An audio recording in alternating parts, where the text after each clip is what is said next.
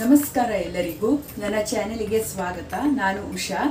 ಇವತ್ತಿನ ವ್ಲಾಗಲ್ಲಿ ನಾನು ತೆಂಗಿನಕಾಯಿಂದ ಮಾಡೋ ಒಂದು ಸಿಂಪಲ್ ಆಗಿರೋ ಒಂದು ಸ್ವೀಟ್ ಹೇಳ್ಕೊಡ್ತೀನಿ. ಆಮೇಲೆ ದಪ್ಪ ಮೆಣಸಿಂದ ಮಾಡೋ ಸಾಸ್ಮೆ ಹೇಳ್ಕೊಡ್ತೀನಿ. ನಂತರ ವಿಡಿಯೋದ ಕೊನೆಯಲ್ಲಿ ತೆಂಗಿನೆಣ್ಣೆಯ ಮಹತ್ವಗಳನ್ನು ತಿಳಿಸಿಕೊಡ್ತೀನಿ. ಹೀಗಾಗಿ ವಿಡಿಯೋನ ಕೊನೆ ತನಕ ನೋಡಿ. ಈಗ ಮೊದಲಿಗೆ ತೆಂಗಿನಕಾಯಿಯಿಂದ ಮಾಡೋ ಸಿಂಪಲ್ ಆಗಿರೋ ಸ್ವೀಟ್ನ ನೋಡ್ಕೊಂಡು ಬರೋಣ. ನಾನಿಲ್ಲಿ ಒಂದು ಅರ್ಧ ಕಪ್ ಕಾಯಿ ತುರಿನ ತಗೊಂಡಿದ್ದೀನಿ. ಎಳೆ ಕಾಯಿ ಆದರೆ ತುಂಬಾ ಚೆನ್ನಾಗಿರುತ್ತೆ. ಇಲ್ಲಿ ನಾನು ಕಾಯಿ ಒಡೆದ್ಮೇಲೆ ನೀರು ಸಿಗತ್ತಲ್ಲ, ಅದನ್ನು ಬಳಸ್ತಾ ಇದ್ದೀನಿ. ನೀವು ಇದರ ಬದಲಿಗೆ ನೀರು ಕೂಡ ಬಳಸಬಹುದು. ಮೊದಲಿಗೆ ಬಾಣಲೆಯಲ್ಲಿ ತುರಿದಿರೋ ಕಾಯಿ ತುರಿನ ಹಾಕಿ,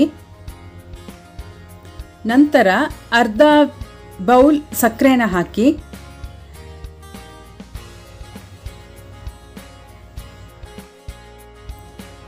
ಆಮೇಲೆ ಕಾಯಿ ನೀರನ್ನು ಹಾಕಿ ಚೆನ್ನಾಗಿ ಮಿಶ್ರಣ ಮಾಡ್ಕೊಳ್ಳಿ ಇದನ್ನ ಈ ಥರ ಮಾಡೋದ್ರಿಂದ ಸಕ್ಕರೆ ಬೇಗ ಕರಗತ್ತೆ.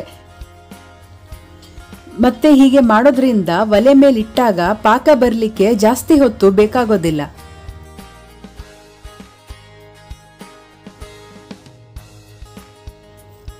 ಈಗ ಇದನ್ನ ಒಲೆ ಮೇಲೆ ದೊಡ್ಡ ಉರಿಯಲ್ಲಿ ಇಡೋಣ.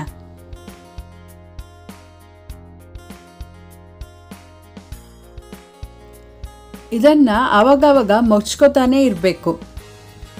ನಿಮಗೆ ಸಕ್ಕರೆ ಬೇಡ ಅಂತ ಅನ್ಸಿದ್ರೆ ಬೆಲ್ಲ ಕೂಡ ಬಳಸಬಹುದು. ಬೆಲ್ಲ ಹಾಕಿ ಮಾಡಿದ್ರೂ ತುಂಬಾ ರುಚಿಯಾಗಿರುತ್ತೆ. ಈಗ ನೋಡಿ ಸಕ್ಕರೆ ಕರಗ್ತಾ ಇದೆ ಹಾಗೂ ಅದು ನೀರು ಬಿಡ್ತಾ ಇದೆ. ಈಗ ಒಂದ್ಸಲಿ ಫುಲ್ ಅದು ನೀರ್ ನೀರಾಗ್ಬಿಡುತ್ತೆ.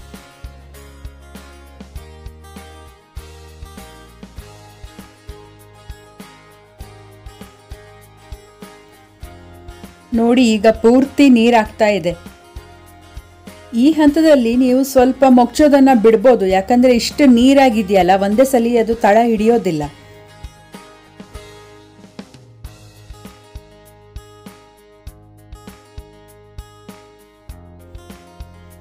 ಅಷ್ಟರಲ್ಲಿ ಒಂದು ಬಟ್ಲಿಗೆ ಒಂದು ಚಮಚ ತುಪ್ಪ ಹಾಕಿ ಸವರಿಟ್ಕೊಳ್ಳೋಣ.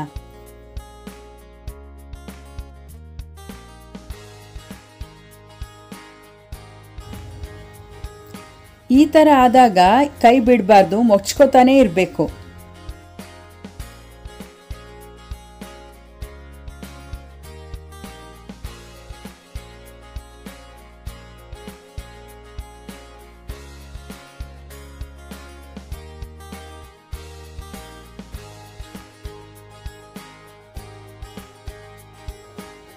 ಇದಿವಾಗ ಆಗ್ತಾ ಬಂದಿದೆ. ನೀವು ಬೇಕಾದರೆ ಈ ಹಂತದಲ್ಲಿ ಒಂದು ಕಾಲು ಟೀ ಚಮಚ ಏಲಕ್ಕಿ ಪುಡಿನ ಹಾಕೋಬಹುದು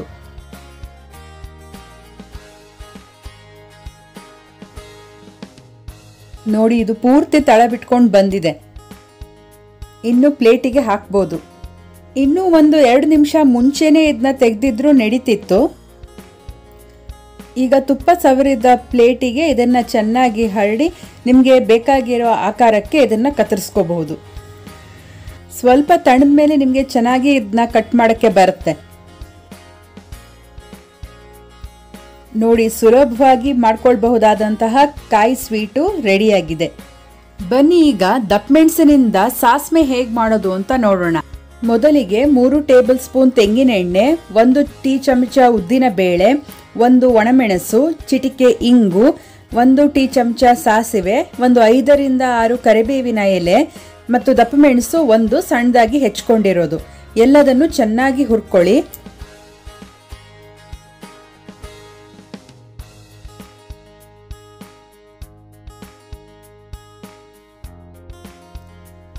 ನಂತರ ಒಂದು ಅರ್ಧ ಕಪ್ ಕಾಯಿ ತುರಿ, ಒಂದು ಹಸಿಮೆಣಸು ಆಮೇಲೆ ಒಂದು ಕಾರು ಕಪ್ ನೀರು ಹಾಕಿ ಚೆನ್ನಾಗಿ ರುಬ್ಕೊಳ್ಳಿ. ರುಬ್ಬಿದ ಮಿಶ್ರಣವನ್ನು ಒಂದು ಕಪ್ ಮೊಸರಿಗೆ ಹಾಕಿ.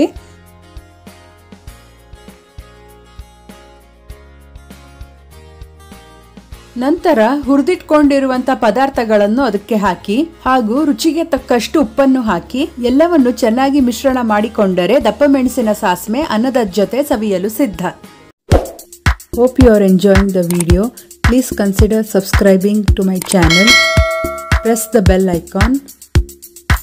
Press all button thank you ತೆಂಗಿನಕಾಯಿ ಸ್ವೀಟು ಮತ್ತೆ ದಪ್ಪಮೆಣಸಿನ ಸಾಸ್ಮೆ ಹೇಗೆ ಮಾಡೋದು ಅಂತ ನೋಡ್ಕೊಂಡು ಬಂದ್ರಲ್ಲ? ಈಗ ನಾನು ತೆಂಗಿನ ಎಣ್ಣೆಯ ಮಹತ್ವಗಳನ್ನು ಹೇಳ್ತಾ ಹೋಗ್ತೀನಿ. ತಾಯಿ ಹಾಲಲ್ಲಿ ಹಾಗೂ ತೆಂಗಿನ ಎಣ್ಣೆಯಲ್ಲಿರುವ ಕೊಬ್ಬು ಒಂದೇ. ಮೋನೋಲೋರಿಕ್ ಫ್ಯಾಟಿ ಆಸಿಡ್ ಅಂತ ಹೇಳ್ತಾರೆ. ಈ ಕೊಬ್ಬು ಎಷ್ಟು ಒಳ್ಳೆಯದು ಅಂದ್ರೆ ಅದು ನಮ್ಮ ದೇಹದ ರೋಗ ನಿರೋಧಕ ಶಕ್ತಿಯನ್ನು ಹೆಚ್ಚಿಸುತ್ತದೆ. ಮತ್ತೆ ನಮ್ಮ ದೇಹದಲ್ಲಿ ಬಿ ಎಂ ಆರ್ ಅನ್ನು ಹೆಚ್ಚಿಸಿ, ಅಂದರೆ ಮೆಟಬಾಲಿಕ್ ರೇಟ್ ಅನ್ನು ಹೆಚ್ಚಿಸಿ ನಮ್ಮ ದೇಹದ ತೂಕವನ್ನು ತಗ್ಗಿಸುತ್ತದೆ. ಇದೇ ರೀತಿ ತೆಂಗಿನೆಣ್ಣೆಯಿಂದ ಹತ್ತು ಹಲವು ಉಪಯೋಗಗಳಿವೆ. ಅದು ಒಂದು ದೊಡ್ಡ ಕ್ರಿಮಿನಾಶಕ. ಈಗ ನಮಗೆ ಮಳೆಗಾಲದಲ್ಲಿ ಬೆರಳು ಸಂದಲ್ಲಿ ಫಂಗಸ್ ಆಗುತ್ತೆ. ಅದು, ಅದಕ್ಕೆ ತೆಂಗಿನೆಣ್ಣೆ ಹಚ್ಚಿದ್ರೆ ಆ ಫಂಗಸ್ಸು ಒಂದು ಎರಡು ಮೂರು ದಿವಸದಲ್ಲಿ ಗುಣ ಆಗಿ ಆಮೇಲೆ ಹಳ್ಳಿಗಳಲ್ಲೆಲ್ಲ ನೊಣ ಜಾಸ್ತಿ ಇರುತ್ತೆ. ಅವು ಅಂಥವರು ಅಲ್ಲಿ ಟೇಬಲ್ ಮೇಲೆ ಒಂದು ಲೇಯರ್ ತೆಂಗಿನೆಣ್ಣೆ ಹಚ್ಬಿಟ್ರೆ ನೊಣ ಅದರಲ್ಲಿ ಕೂತ್ಕೊಂಡು ಅದರ ಕಾಲುಗಳಲ್ಲಿ ಇರೋ ಕ್ರಿಮಿಗಳು ಅಲ್ಲೇ ಸತ್ತು ಹೋಗ್ತವೆ. ಮತ್ತೆ ಎಣ್ಣೆಯನ್ನು ಕೂದಲಿಗೆ ಬಳಸೋದ್ರಿಂದ ಡ್ಯಾಂಡ್ರಫ್ ಕೂಡ ಆಗೋದಿಲ್ಲ.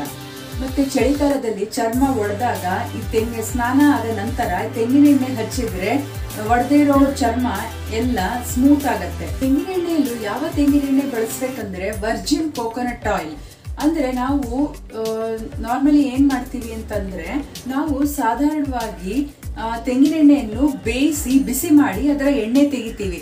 ಅದು ಜಾಸ್ತಿ ದಿವಸ ಉಳಿಯೋದಿಲ್ಲ. ಹೀಗಾಗಿ ನಾವು ವರ್ಜಿನ್ ಕೋಕೋನಟ್ ಆಯಿಲ್ ಅನ್ನ ಮನೆಯಲ್ಲೇ ತಯಾರಿಸಬಹುದು. ಹೇಗೆ ತಯಾರಿಸೋದು ಅಂತ ನೀವು ಒಂದು ಫ್ರೆಶ್ ಕಾಯಿನ ತಂದು ತುರಿದು, ಅದರ ರಸ ತೆಗೆದು ಒಂದು ಇಷ್ಟು ದೊಡ್ಡ ಬಾಟ್ಲಲ್ಲಿ ಅದನ್ನ ರಸನ ಹಾಕಿ ಫ್ರಿಡ್ಜ್ನಲ್ಲಿ ನಲವತ್ತೆಂಟು ಗಂಟೆಗಳ ಕಾಲ ಇಟ್ಬಿಡಿ. ಆಮೇಲೆ ತೆಗೆದು ನೋಡಿದಾಗ ಏನಾಗಿರುತ್ತೆ ಅಂತಂದ್ರೆ, ಮೂರು ಲೇಯರ್ ಆಗಿರುತ್ತೆ. ಮೇಲ್ಗಡೆ ಲೇಯರ್ ಅಲ್ಲಿ ಸ್ವಲ್ಪ ಫ್ಯಾಟ್ ಇರುತ್ತೆ. ಅದನ್ನ ಚಮಚದಲ್ಲಿ ತೆಗೆದ್ಬಿಡ್ಬೋದು. ಮಧ್ಯ ಇಷ್ಟು ಭಾಗದಲ್ಲಿ ನೀರಿನ ತರ ಇರುತ್ತೆ. ಅದು ವರ್ಜಿನ್ ಕೋಕೋನಟ್ ಆಯಿಲ್ ಕೆಳಗಡೆ ಫೈಬರ್ ಇರುತ್ತೆ. ಆ ಫೈಬರ್ನ ತೆಗೆದು ನಾವು ಅದರಿಂದ ಸ್ವೀಟ್ ಮಾಡ್ಕೋಬಹುದು. ಈ ಎಣ್ಣೆ ಒಂದ್ ವರ್ಷದಿಂದ ಎರಡು ವರ್ಷಗಳ ಕಾಲ ಇರುತ್ತೆ. ಮತ್ತೆ ಎಲ್ಲರಿಗೂ ಒಂದು ತಪ್ಪು ನಂಬಿಕೆ ಇರೋ ಪ್ರಕಾರ ತೆಂಗಿನೆಣ್ಣೆಯಲ್ಲಿ ಕೊಲೆಸ್ಟ್ರಾಲ್ ಇಲ್ಲ. ತೆಂಗಿನೆಣ್ಣೆ ಹೃದಯದ ಆರೋಗ್ಯಕ್ಕೆ ತುಂಬಾನೇ ಒಳ್ಳೆಯದು ತೆಂಗಿನೆಣ್ಣೆ ಸಕಲ ಚರ್ಮ ರೋಗಕ್ಕೂ ಒಂದು ರಾಮಬಾಣ. ನಿಮಗೆ ಯಾವುದೇ ತರದ ಚರ್ಮ ರೋಗ ಆಗಿದ್ರೆ ಅದರ ಮೇಲೆ ತೆಂಗಿನೆಣ್ಣೆ ಹಚ್ಚಿ ಒರೆಸಿದ್ರೆ ಅದು ನಿಮಗೆ ಎರಡು, ಮೂರು ದಿನದಲ್ಲಿ ಅದರ ಪರಿಣಾಮ ಗೊತ್ತಾಗುತ್ತೆ. ಈ ತೆಂಗಿನೆಣ್ಣೆಯನ್ನು ನಮ್ಮ ಕೋಸ್ಟಲ್ ರೀಜಿಯನ್ ಕೋಸ್ಟಲ್ ಕರ್ನಾಟಕ, ಕೇರಳದಲ್ಲಿ ಸಿಕ್ಕಾಪಟ್ಟೆ ಬಳಸ್ತಾರೆ. ಕೇರಳದವರಂತೂ ಒಳ್, ಇದಕ್ಕೆ ಒಳ್ಳೆ ಉದಾಹರಣೆ. ಕೇರಳದವರು ತಲೆ ಸ್ನಾನ ಮಾಡ್ಕೊಂಡಿರೋದು ಸೋಪು ಶಾಂಪೂ ಯಾವುದು ಬಳಸೋದಿಲ್ಲ. ತಲೆಯಲ್ಲಿ ಎಣ್ಣೆ ಹಾಗೆ ಇರುತ್ತೆ. ಈಗ ಚರ್ಮ ರೋಗ ಕಡಿಮೆ ಹಾಗೂ ತಲೆ ಕೂದಲು ಸಹ ತುಂಬಾನೇ ದಟ್ಟವಾಗಿ ಸೊಂಪಾಗಿ ಬೆಳೆದಿರುತ್ತೆ. ಇತ್ತೀಚಿನ ರಿಸರ್ಚ್ ಪ್ರಕಾರ ನಮ್ಗೆ ಏನು ತಿಳಿದು ಬಂದಿದೆ ಅಂತ ಅಂದ್ರೆ ಬೆಳಿಗ್ಗೆ ಎದ್ದ ತಕ್ಷಣ ಒಂದು ಟೀ ಚಮಚ ತೆಂಗಿನ ಎಣ್ಣೆಯನ್ನು ಬಾಯಲ್ಲೇ ಇಟ್ಕೊಂಡ್ರೆ ಅದು ಅಲ್ಲೇ ಡೈಜೆಸ್ಟ್ ಆಗತ್ತೆ. ಅಲ್ಲೇ ಜೀರ್ಣ ಆಗತ್ತೆ. ಇದರಿಂದ ನಮ್ಮ ದೇಹದ ತೂಕ ಕಡಿಮೆ ಆಗೋದ್ರಲ್ಲಿ ಸಹಾಯ ಆಗತ್ತೆ ಅಂತ ತಿಳಿದು ಬಂದಿದೆ. ನಮ್ಮ ಬಾಯಲ್ಲೇ ಜೀರ್ಣ ಆಗುವಂತ ಆಹಾರ ಎರಡೇ, ಒಂದು ತೆಂಗಿನ ಎಣ್ಣೆ, ಇನ್ನೊಂದು ತಾಯಿ ಹಾಲು. ಮತ್ತೆ ನಿಮಗೆ ತೆಂಗಿನ ಎಣ್ಣೆ ಉಪಯೋಗಿಸೋದ್ರ ಬಗ್ಗೆ ಯಾವ ಅನುಮಾನ ಬೇಡ. ಯಾಕೆಂದ್ರೆ ಇದರಲ್ಲಿ ಕೊಲೆಸ್ಟ್ರಾಲ್ ಇಲ್ಲ. ಯಾಕಂದ್ರೆ ತೆಂಗಿನ ಕಾಯಿ ಸಸ್ಯಾಹಾರ. ಈಗಿನ ಕಾಲದಲ್ಲಿ ತೆಂಗಿನೆಣ್ಣೆಯನ್ನು ಮರೆತು ವೆಜಿಟೇಬಲ್ ಆಯಿಲ್ಸು ಈಗಂತೂ ಆಲಿವ್ ಆಯಿಲ್ ಅಂತ ಅದನ್ನೆಲ್ಲ ಯೂಸ್ ಮಾಡ್ತಾರೆ. ಅದು ನಮ್ಮ ಈ ಪ್ರಕೃತಿಗೆ ಅಂದರೆ ನಾವು ನಮ್ಮ ಭಾರತದಲ್ಲಿ ಆಲಿವ್ ಆಯಿಲು ಅದು ನಮ್ಮ ದೇಹಕ್ಕೆ ಒಗ್ಗೋದಿಲ್ಲ. ನಮ್ಮ ಸುತ್ತಮುತ್ತಲು ಏನು ಬೆಳೀತಾರೆ, ನಾವು ಮುಂಚೆಯಿಂದಲೂ ನಾವು ಏನು ಉಪಯೋಗಿಸ್ತಾ ಬಂದಿದ್ದೀವಿ, ಅದನ್ನೇ ಉಪಯೋಗಿಸೋದು ಒಳ್ಳೆಯದು ಬನ್ನಿ, ಇನ್ನಾದರೂ ನಾವು ತೆಂಗಿನೆಣ್ಣೆಯ ಮಹತ್ವವನ್ನು ಅರಿತು ಮುಂಚೆನ ಕಾಲದಲ್ಲಿ ಅಂದರೆ ನಮ್ಮ ಅಜ್ಜಿಯಂದಿರೆಲ್ಲ ಹೇಗೆ ಅದನ್ನು ಬಳಕೆ ಮಾಡ್ತಾ ಇದ್ರು ದಿನನಿತ್ಯದ ಅಡುಗೆಗಳಲ್ಲಿ, ಅದೇ ರೀತಿ ನಾವು ಅದನ್ನು ಉಪಯೋಗಿಸೋಣ ಹಾಗೂ ನಮ್ಮ ಆರೋಗ್ಯವನ್ನು ವೃದ್ಧಿಸಿಕೊಳ್ಳೋಣ. ನಿಮಗೆ ಇವತ್ತಿನ ವಿಡಿಯೋ ಇಷ್ಟ ಆಗಿದ್ದರೆ ದಯವಿಟ್ಟು ಲೈಕ್ ಮಾಡಿ, ನನ್ನ ವಿಡಿಯೋನ ಶೇರ್ ಮಾಡಿ ಹಾಗೂ ನನ್ನ ಚಾನೆಲ್ಗೆ ಸಬ್ಸ್ಕ್ರೈಬ್ ಆಗೋದನ್ನು ಮರಿಬೇಡಿ. ಧನ್ಯವಾದಗಳು.